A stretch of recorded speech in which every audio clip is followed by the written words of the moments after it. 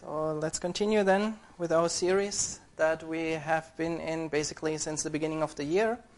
And we're now in a sub series looking at our own identity. For a while we looked at the question who is God, his characters, his, his character, his attributes, his names, and all these things. And now we look at the question who am I with Christ and who am I without Christ? And in the last sermon we looked at creation and fall. And we looked at the question how did God create us in the first place? And we looked at different things that we can get straight from the Bible. First of all, God created us with one purpose to worship Him. That's why He created you and me. That's our purpose. That's why we are here. He created us as His children. Every single being in this world was created by God Himself. So we are His children. He created us to rule. It was his intention from the very beginning that we would rule and reign together with him in this world. We would have authority here. He created us for good works. He created us not to be lazy or just to enjoy everything. He certainly wants that. But he also wants us to do meaningful work. And it was meant to be joyful, not a burden.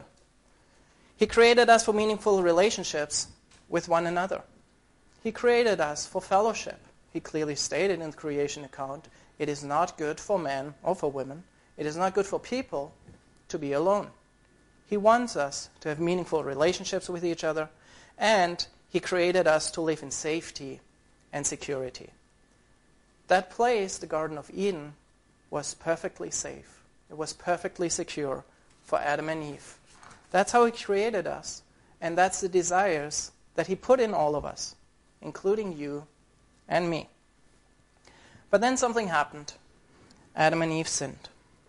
And suddenly, this whole way in which God created us got broken and completely distorted. We were created to worship God, but the very first thing that happened when Adam and Eve sinned was they became fearful of God. They started hiding. They didn't want to be in God's presence any longer. So instead of worshiping God, they now wanted to stay away from him. We became children of wrath. We deserve the experience of God's rejection because He is holy and we are not. The Bible says the wages of sin is death. Death, and not just physical death, but spiritual death, separation from God, is a consequence of our sin. That's who we became because of sin. Now we became slaves instead of rulers. We were meant to rule this world, but our sinful attitudes, our sinful deeds, and everything, the Bible says, made us slaves to sin. And we are now caught in our own web, in the consequences of our own sin, and we are not free any longer. Work became a burden. We now have to work. It's no longer that we enjoy working with God, we now have to work as a means of survival. Relationships got separated. What was the first thing Adam and Eve did after they had sinned? They were ashamed in front of each other. And so the meaningful relationships that we were created for now got completely separated. And our safety and security got lost. We were meant to live in a perfect place where God would take care of all our needs. No dangers, no sickness, no nothing. Everything would be perfect. We would feel completely safe and secure. Is this world like this? Not at all. We now face uncertainties, fears, all these things because of our sin. Now, the trouble is, we still have these God given desires. We are created to worship, and we will worship, whether we know it or not. We will worship someone or something. And if we don't worship God, then we will maybe worship ourselves. Maybe we'll worship money. Maybe we'll worship our family, our children, whatever it is. We will worship something. We want to feel secure. We want to do meaningful work, all these things. But because of sin, we don't feel fulfilled any longer. These things don't satisfy any longer.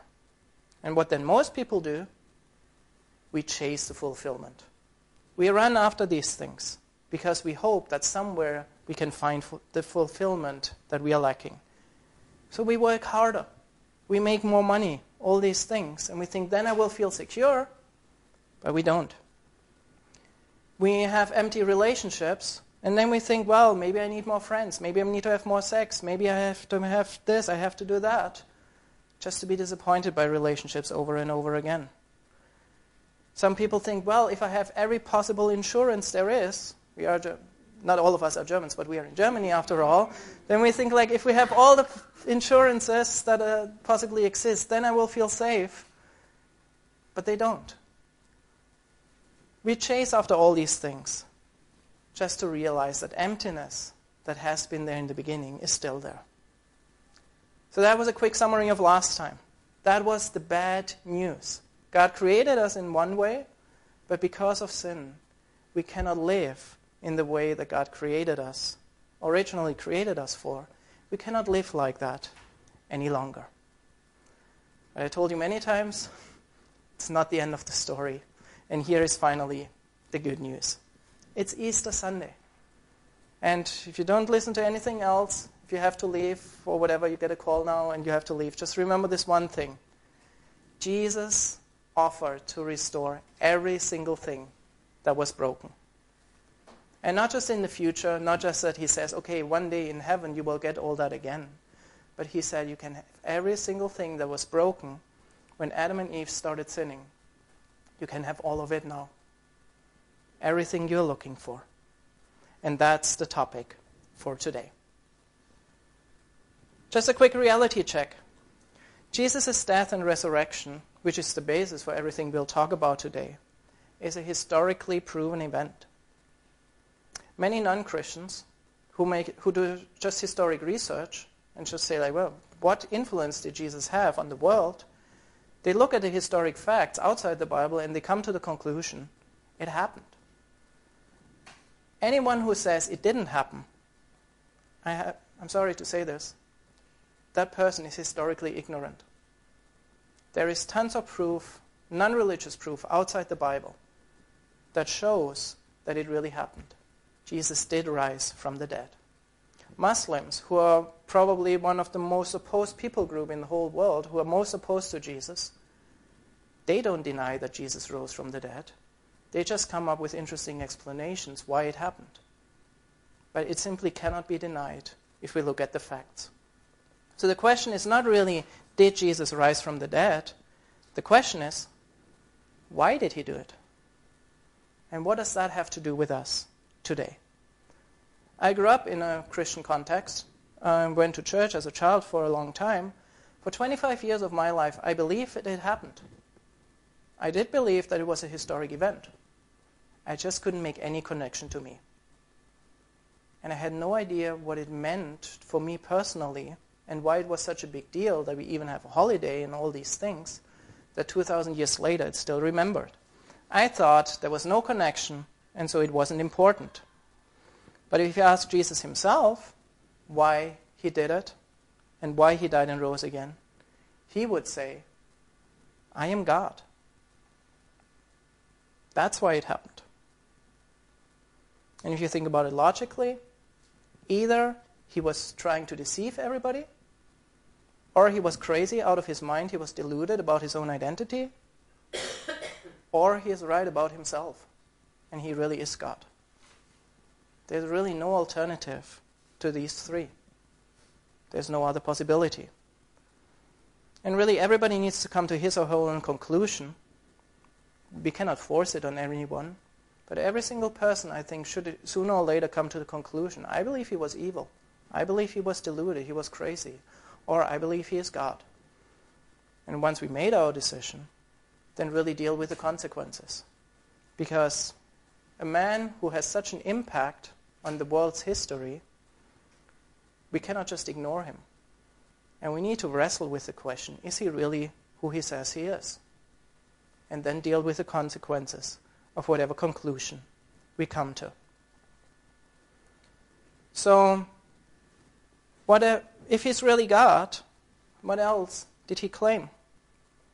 Well, coming back to the topic, about our identity, he promised that when he died and when he rose again, he would restore everything.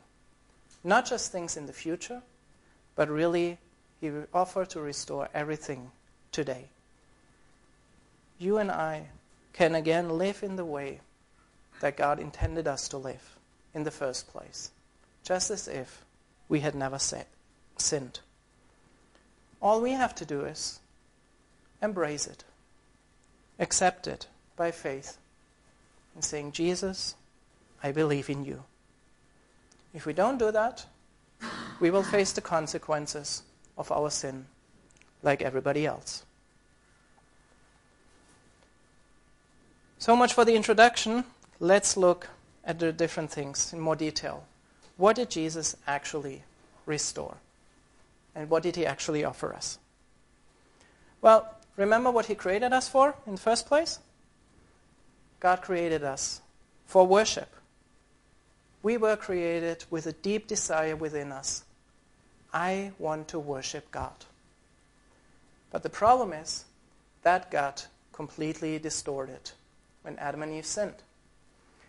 Genesis 3 8 to 10 says, And they, Adam and Eve, heard the voice of the Lord God walking in the garden in the cool of the day, and Adam and his wife hid themselves from the presence of the Lord God among the trees of the garden. And the Lord God called unto Adam and said unto him, Where are you? And he said, I heard your voice in the garden, and I was afraid because I was naked, and I hid myself. They were created to worship. Now they were afraid of God. God created them to find complete fulfillment by simply being in His presence, worshiping Him, bringing Him glory, telling God how great He is. And that would in turn fulfill them too. And now they turned their back on God. That's the problem. That's the problem you and I face too. Without Jesus, we are afraid of God because we know we have nothing to offer Him. We cannot measure up with Him. We are sinful. And so, unless we embrace Jesus by faith, you and I will do exactly what Adam and Eve did. We will run away from God, try to hide from Him, and we will not give Him the worship that He deserves. But let's look at what Jesus did. This was before the resurrection, even. John 4, he spoke with a woman, and she said, Our fathers worshipped in this mountain, and you say that in Jerusalem is the place where men ought to worship. Jesus said unto her, Woman, believe me, the hour comes when you shall neither in this mountain nor yet at Jerusalem worship the Father. You worship, you, you know not what. We know what we worship, for salvation is of the Jews.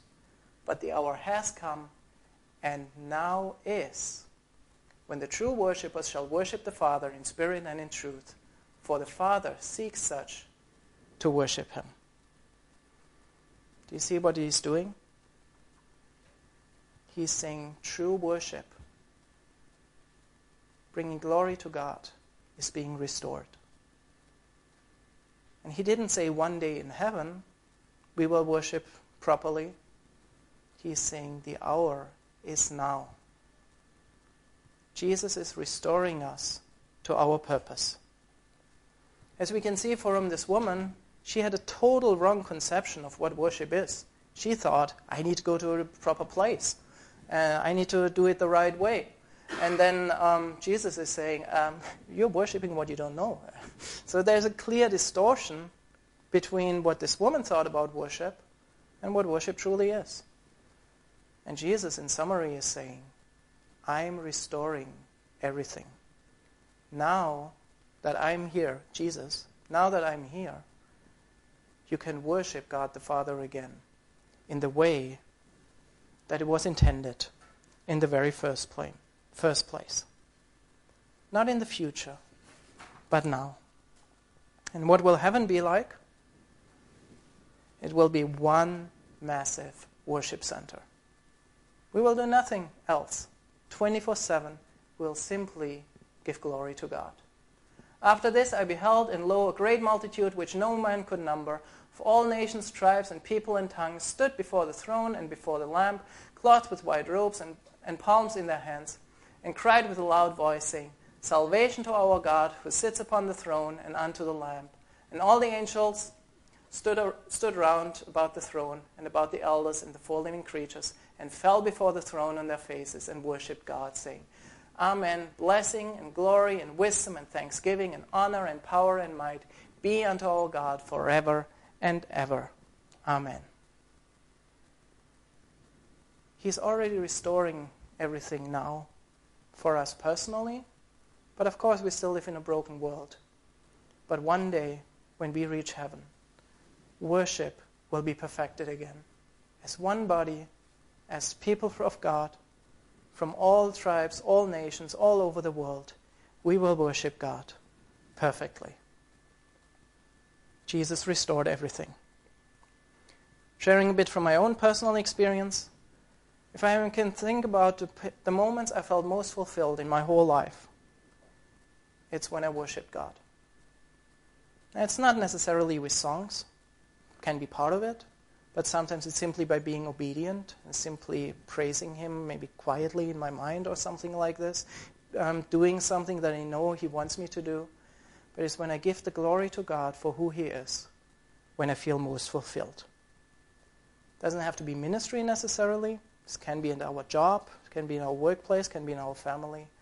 But when we truly worship God, that's when we find fulfillment. Jesus has already restored it. Let's look at another problem of sin. Sin made us children of wrath. Ephesians 2 says, Among whom also we all had our behavior in times past in the lust of our flesh, fulfilling the desires of our flesh and of the mind, and were by nature the children of wrath, even as others. God hates sin. And he's not like a, we are to one another and being like, okay, yeah, it's fine, uh, don't worry about it. He hates sin. He really hates sin. And so when we commit sin, we become children of wrath. We become children of wrath. We also become children of the devil. Ephesians 2 4 and 5 says, But God, who is rich in mercy for his great love, which with which he loved us, even when we were dead in sins, has made us alive together with Christ. By grace you are saved. That's the verse we read in the beginning. We were dead. We were not alive in God. We were dead in sins. John 8:44, Jesus rebukes the Jewish people at the time and he says, "You are of your father, the devil, and the lust of your father you will do." For he was a murderer from the beginning and abode not in the truth, because there is no truth in him. When he speaks a lie, he speaks of his own, for he is a liar and the father of it.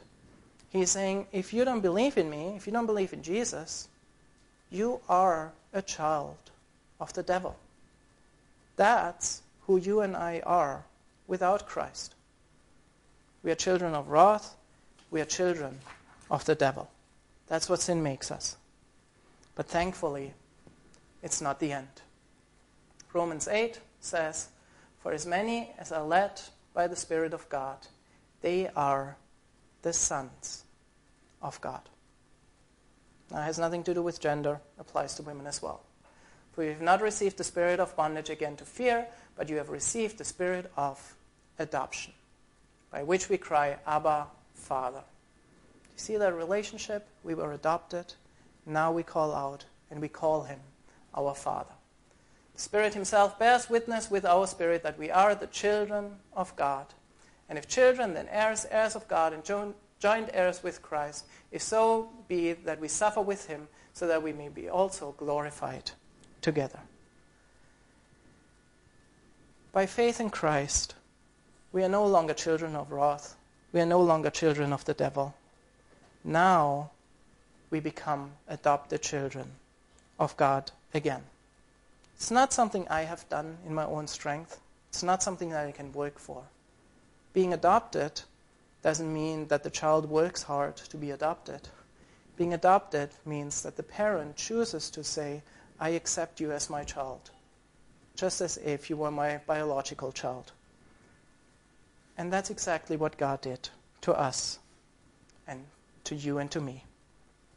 Now we are children of God again. First, when He created us, then we lost that identity because of sin.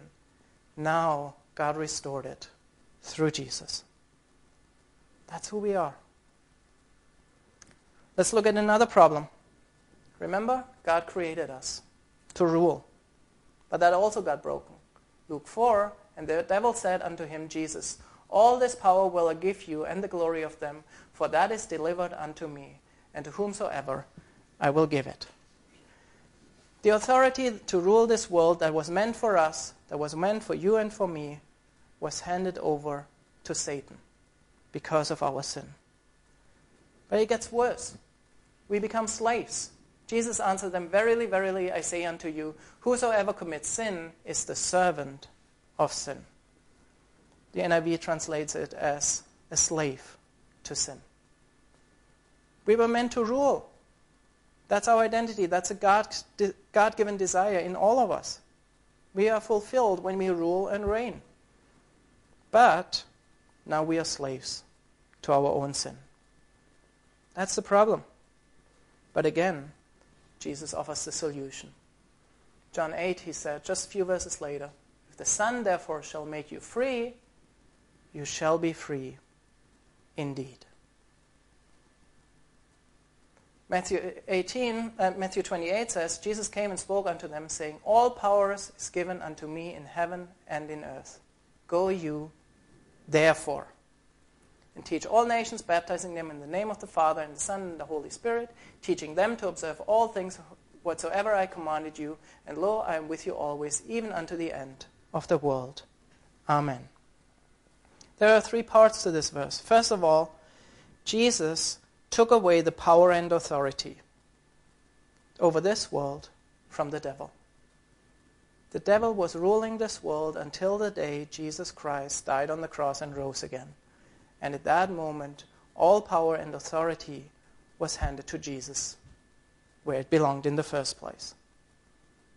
So the devil is no longer the ruler of this world.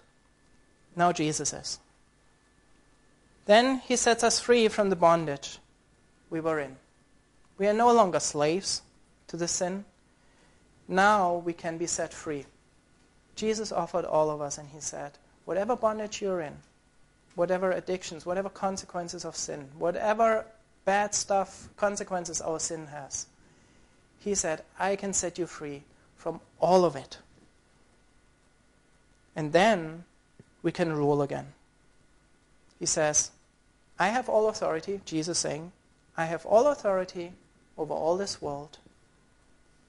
Now you go, and I'll share my authority with you.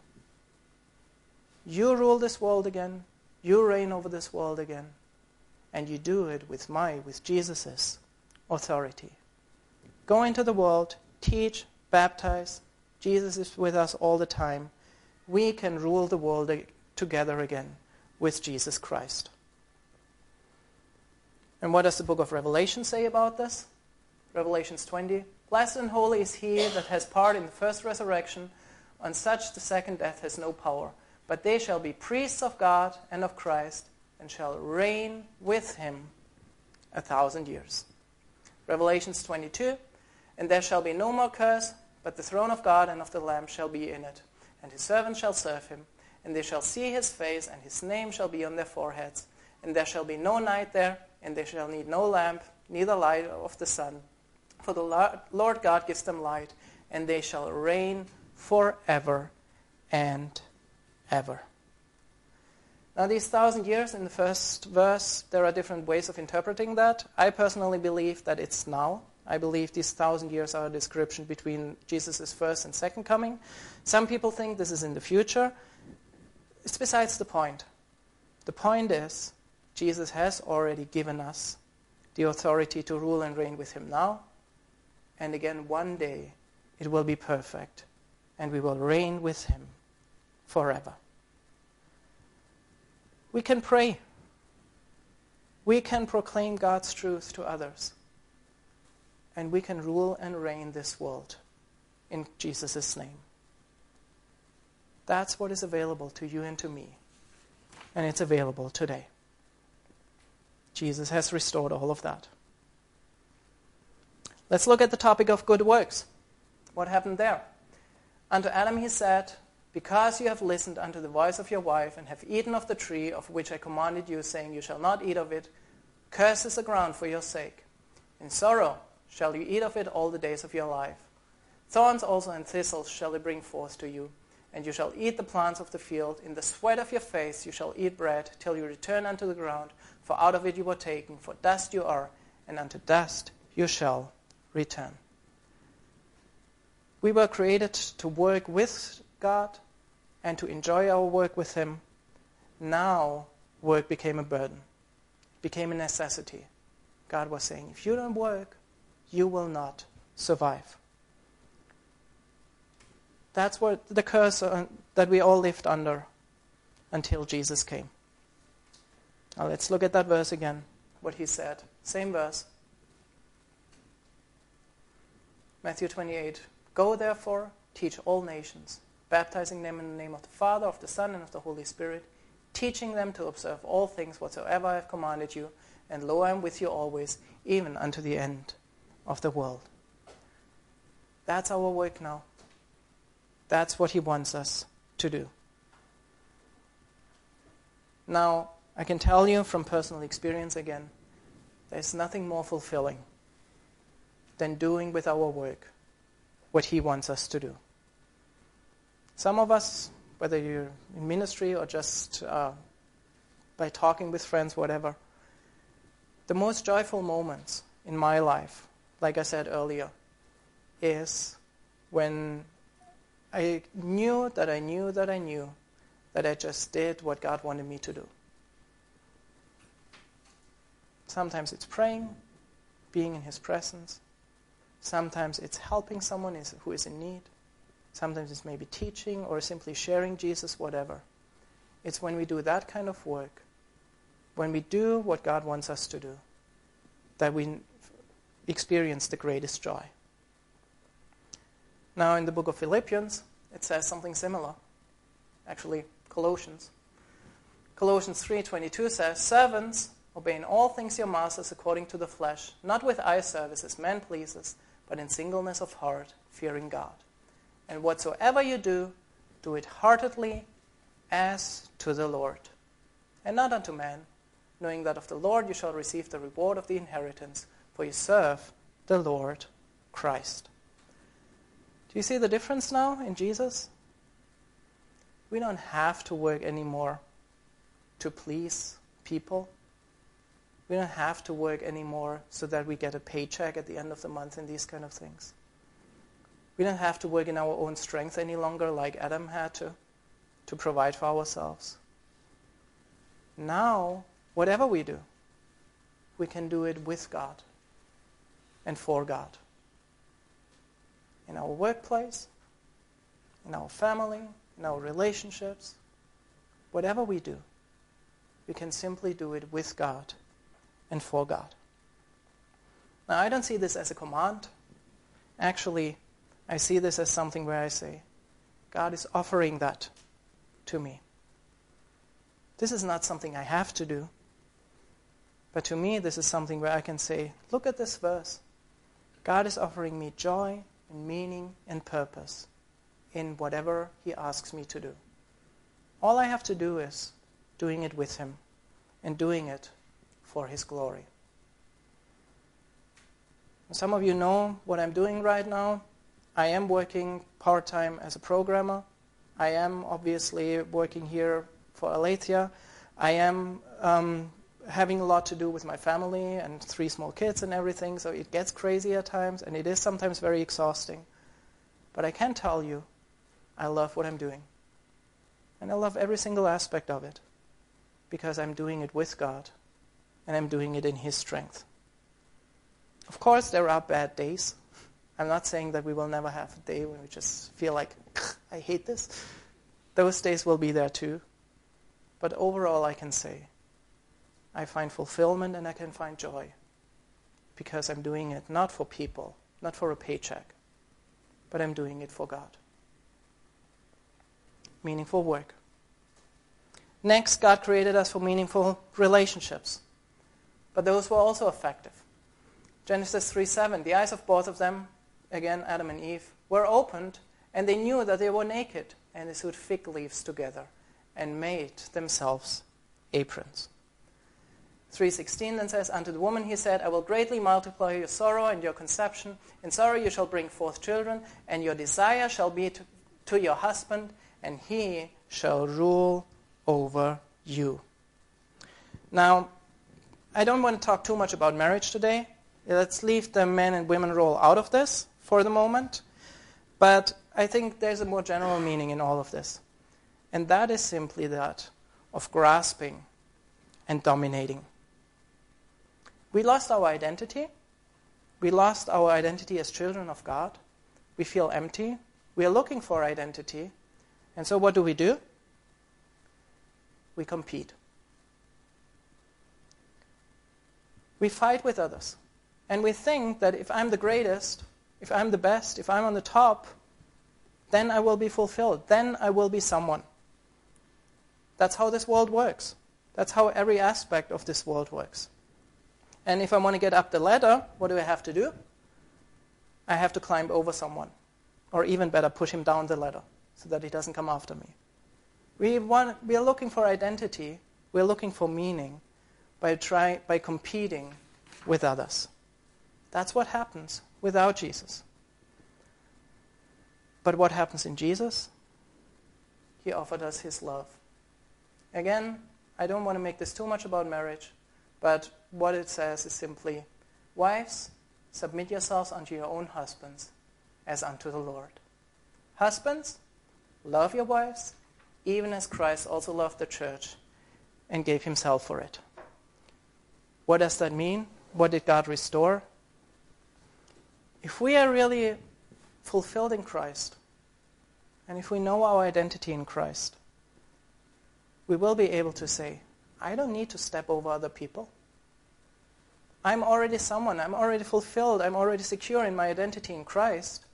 I don't need to impress other people. I don't need to step over others. I don't need to be on the top of that ladder. I don't need to be the best in this. I don't need to push others around and dominate them because I am content in Christ. I am a child of God. And it really doesn't matter if in this competition I'm first or second because my identity is in Christ. So we don't see the need anymore to fight with others. We can submit to others. And the other way around, the same, we can love one another. Because suddenly other people are not my competitors any longer. Now, other people are brothers and sisters in Christ. They are loved by God just as I am loved. God wants to have a relationship with them, just as I have a relationship. And so now we can live a total different life. Instead of fighting with others, instead of grasping and climbing up the ladder and pushing others out of the way and all these things, now we can simply say, I love people. I'm totally fulfilled. And if someone else is better than me, it doesn't matter to me because I already have everything I need. God's love and experiencing that love will change everything. And suddenly we don't have to dominate one another anymore and grasp and fight with each other for positions and for authority. If we have it in Christ, suddenly our relationships with one another have a total different dynamic. And people in the Bible were able to live exactly like that. Book of Acts, for example, says, all that be- and all that believed were together, had all things in common, sold their possessions and goods, and distributed them to all men as every man had need. And they continued, continuing daily with one accord in the temple, breaking bread from house to house, did eat their food with gladness and sincerity of heart, praising God, having favor with all the people, and the Lord added to the church daily such as were being saved. Again, I don't see this so much as a command. I see this as something that is a natural outflow. if we truly live in a relationship with God and are fulfilled in Him, we will live in community and we will share life with one another. The Bible is full of descriptions what Christian fellowship is supposed to look like. Now that doesn't mean that we all move in here tonight and then we share this apartment together. That's not the meaning. But what it does mean, we share life together and we love one another. God enables us to have these kind of lasting, meaningful relationships once again. Not like Adam and Eve who started fighting and hiding from each other, but we can now be transparent and vulnerable with one another again instead of fighting with each other. Relationships got restored. Next thing that got broken safety and security. Genesis 3:17 Unto Adam he said, Because you have listened unto the voice of your wife, have eaten of the tree of the, which I commanded you, saying, You shall not eat of it. Cursed is the ground for your sake. In sorrow you shall eat of it all the days of your life. Thorns, thistles shall bring forth to you, and you shall eat, eat the plants of the field. In the sweat of your face shall you eat bread till you return unto the ground. Out of it you were taken. For dust you are, and unto dust you shall return. Their security got broken it was addressed specifically to Adam, certainly applied to Eve as well. It applies to men and women. Our security is lost. Adam now had to provide for himself. But that was not God's design. We were never meant, we were never designed to carry all the responsibility of I have to provide for myself. And anybody who lives like this today eventually breaks down. We simply cannot cope with that pressure. We feel pressure, we feel burdened, we feel just exhausted all the time. But that's not God's design. So, what's the solution? Philippians 4 6 to 7. Be anxious for nothing, but in everything by prayer and supplication with thanksgiving let your requests be made known to, unto God. And the peace of God, which passes all understanding, shall keep your hearts and minds through Christ Jesus. For many years, when I read this verse, I thought, like, ha, nice fantasy. Living like this, it sounds kind of cool, but I can't do that. And I really thought this is a command that I simply cannot achieve. Until I understood this is not a command. I don't see it as a command, I see it as an offer. Because Jesus is saying, you can live like this. There's a part for you to play, and I'll do the rest. But you can live in peace and enjoy your whole life. Our part is not, no longer to provide for ourselves. Our part is prayer, supplication, thanksgiving. That's what Paul said we should do. That's the easy part. if we do that, the verse says God will take care of all our needs. Let's look at another passage that basically says the same thing Matthew 6. Therefore I say unto you, take no thought for your life, what you shall eat, what you shall drink, nor yet for your body, what you shall put on. Is not life more, more than food, and the body than clothing? Behold, the fowls of the air, for they sow not, neither do they reap nor gather into barns, yet your heavenly Father feeds them. Are you not much better than they? Which of you, by taking thought, can add one cubit unto his stature? And why take your thought for clothing? Consider the lilies of the field, how they grow. They toil not, neither do they spin. And yet I say unto you that even Solomon in all his glory was not arrayed like one of these. Next slide, please. Therefore, if God so clothes the grass of the field, which today is and tomorrow is cast into the oven, shall he not much more clothe you, O you of little faith? Therefore, take no thought, saying, What shall we eat? What shall we drink? How shall we be clothed? For after all these things do the Gentiles seek. For your heavenly Father knows that you have need of all these things. Now, here's where he's turning around. He says, You don't need to provide for yourselves. I'll do that. Here is your responsibility. Seek first the kingdom of God, and his righteousness. And all these things shall be added unto you. Take therefore no thought for tomorrow, for tomorrow shall take thought of, of, the, of the things for itself. Sufficient unto the day is the evil thereof. Same message as in the Philippian passage. Our job is no longer having to provide for ourselves. That was the consequence of sin. That was the truth for Adam, but not for us any longer. Our job is let's seek God. Let's walk with Him. Let's be obedient to Him. And if we do that, God promised, I will take care of all your needs. Maybe not all our wants, He never promised that, but He did promise to take care of all our needs. Now we have a choice. We can say, okay, I'll walk with God. And if we do that, our fears, our insecurities, our burden of having to provide for ourselves, all these things will disappear.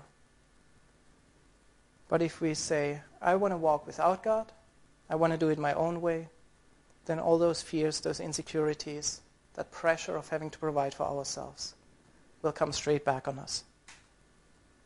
We choose, and we reap the consequences, one way or the other. God restored it again.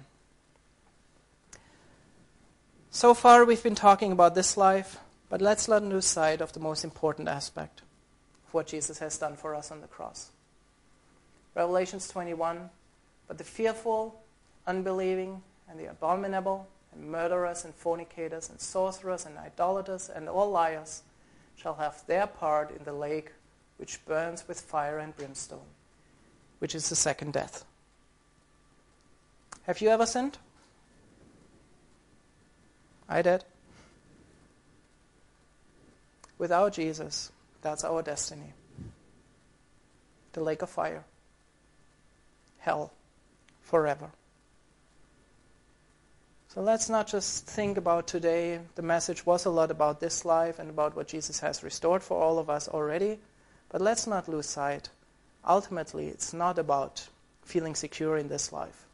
Ultimately, it's not about provisions in this life or anything like that. Ultimately, this is about one of two possible destinies heaven or hell. Jesus, thankfully, also has a solution for that. John 3:16, probably the most famous verse in the Bible. God so loved the world that he gave his only begotten son that whosoever believes in him should not perish, in other words, doesn't have to go to hell. Should not perish but have everlasting life. In other words, he will take us to heaven with him. For God sent not his Son into the world to condemn the world, but that the world through him might be saved. He that believes on him is not condemned, but he that believes not is condemned already, because he has not believed in the name of the only begotten Son of God. And this is the condemnation that light is come into the world. Men love darkness rather than light, because their deeds were evil. For everyone that does evil hates the light, neither comes to the light, lest his deeds should be exposed. But he that does truth comes to the light, that his deeds may be made manifest, that they are worked in God. Ultimately, this is what Easter is really all about. It's not about having a good life here and now, even though that's a nice side effect of it. Ultimately, Easter offers us a way out from our certain destination. All we have to do is believing in Jesus, embracing Him. Now, let me go back to the beginning of the sermon. I said there are only two, three possibilities for Jesus' claim shared with you, the resurrection is an historically proven event. And Jesus claimed to be God. Now, if we come to the conclusion Jesus was evil or he was deluded, then of course anything that I said today makes absolutely no sense and can be rejected. Then I'm lying, either lying to you or I'm deceived by Jesus as well, one of the two, but really nothing I said today matters. But if he is God, then Easter is so much more than just a historic event. Then it becomes personal. And then it requires a personal response. because He will determine our destiny. It's a choice each one of us has to make. We can choose to say, okay, I believe he was evil, he was lying. We can choose to say, I, be- I believe he was crazy, he was out of his mind. That's a choice. But if we really come to the conclusion, Jesus is God, and that's why he, the resurrection happened, then let's deal with the consequence. And let's deal with the fact that then whatever he said is true. Then we are all under the curse of sin. And only Jesus can rescue us from that curse. No one and nothing else. It requires a response. Let's skip one slide. So, in conclusion, if Jesus is God, Easter is really so much more than just a historic event. Then Jesus offered to restore everything we are looking for. Everything that got broken by sin, He offers to us again today. Meaning, purpose, safety, security, meaningful relationships, all these things we talked about, they're all available again to you and to me. But most importantly, Jesus offered to ask, rescue us from our certain destination, which is hell, and offered to take us to heaven. If we really believe this, and if we really say, I believe that that is true, I'm sure we will live differently. I have to admit, I will live differently. A person who fully, 100% believes that in heart and mind will live differently than I live today. And if we don't really live the way we think we are supposed to live in light of this truth, then it probably shows something about our faith. And it probably shows something, an area of our lives, where we have not put our full trust in Jesus yet. So I want to encourage all of us in these next few days to really go to God and to really allow Him to examine our hearts and to really ask Him, Am I truly living the way that you want me to live? Am I truly living the way that someone would live who 100% without any doubt, without any uncertainty, believes that Jesus has restored all these things that we talked about today? Let's spend some time this week reflecting on all of this and going deeper with God and allowing Him to change our hearts and minds. Let's pray. Father, thank you for your awesome plan that you have for all of us. Thank you for the way you created us. And Lord, today we say we are sorry for the way our sin, our choice, our bad choices have distorted everything you have created. I'm sorry for the things that I have messed up, that created wrong image of who you are, that created wrong self-image, that created wrong idea of how you see me, and all these distortions that we deal with now. Lord, we don't want that any longer. And we don't want to embrace those things in our hearts any longer and carry them with us. But today is a day, Lord, when we say, Set me free. Set us free. Restore us, Lord, in the fullness that you created us in the first place. And so, Lord, we pray that you will help us, even right now and throughout this week, to really know your love for us to really know your forgiveness, to really know your restoration, and to really know who we are in you now. And to walk in that freedom, to walk in that liberty, to walk, Lord, in that awesome freedom, in that awesome way that you have originally created us. Help us, Lord, to live like that. And help us, Lord, to embrace it. We will not be caught in sin any longer. We will not be caught in distortions any longer. But Lord, we will be able to live the kind of life that you want us to live. But ultimately, Lord, we thank you for the plan of salvation. And we thank you, Jesus, that you did what no one else in the whole universe could do. You rescued us from hell. And you offered us a way to heaven. So, Lord, we thank you for this. We give you glory for this. And we pray, Lord Jesus, that you will enable us to live the kind of life that you want us to live. Thank you, Jesus.